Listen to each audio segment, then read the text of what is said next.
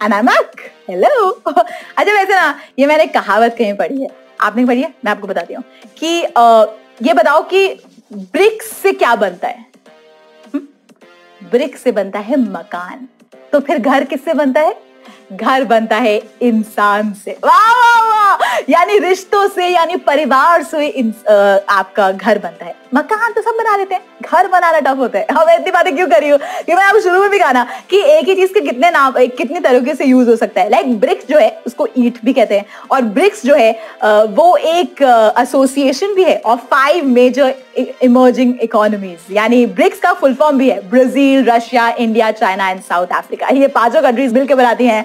BRICS यानी association of five major emerging national economies yes but अभी बातों बातों में मैंने आपको एक सवाल का जवाब बता दिया है। याद रखना, आज के गेम में, आज रात साढ़े आठ बजे प्ले कौन बनेगा लखपति?